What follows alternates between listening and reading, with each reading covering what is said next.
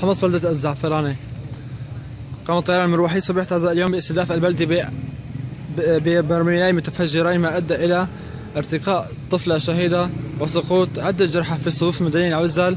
وكما ترون هذه المدارس التي كان يسكنها النازحين في هذا المكان لا يسكن فيها أي تنظيمات أو أي ما شابه ذلك سوى أن أنها من النازحين والمدنيين العزل من النساء والأطفال.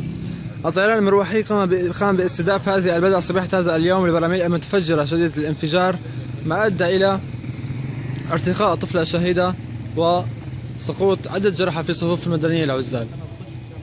كاميرا قناة الجسر الفضائية توثق هذا الدمار في هذا المكان. إذا قام الطيران المروحي بإلقاء البراميل المتفجرة على بلدة الزعفران استهدفت المنازل السكنية والممتلكات العامة. ونحن الآن ضمن هذه المدرسة التي كانت تحوي على النازحين من ريف حمص الشمالي قام الطيران باستهدافها بالبراميل المتفجرة. ولكن هذه براميل لأول مرة نراها في هذه في هذا في في مدينة حمص. هذه البراميل هي شديدة الانفجار وشديدة الانفجار جدا جدا. ليس كسابقتها من البراميل التي كان يلقيها الطيران المروحية علينا.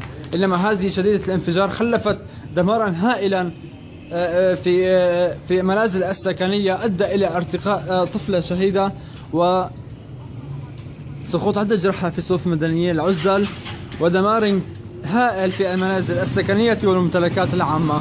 نلاحظ حجم الدمار في هذا المكان. ونلاحظ أن هناك هذه هذه الألبسة لهؤلاء النازحين الذين كانوا كانوا في هذا المكان.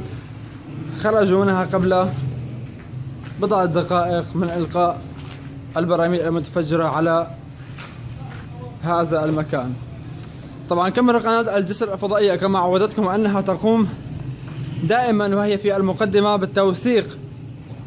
توثيق جرائم قوات النظام والطيران الروسي الذي يستهدف المدنيين العزل بالبراميل المتفجرة والصواريخ الثقيلة لا سيما من الطيران الحربي الروسي والطيران المروحي وما شابه ذلك. طبعا هذه الأمتعة أيضا هي لهؤلاء النازحين الذين كانوا يمكثون في هذا المكان. ونلاحظ أيضا أننا نحن الآن داخل هذه المدرسة. هذه المدرسة كما كما أسلفت أنها تأوي على النازحين من المدنيين.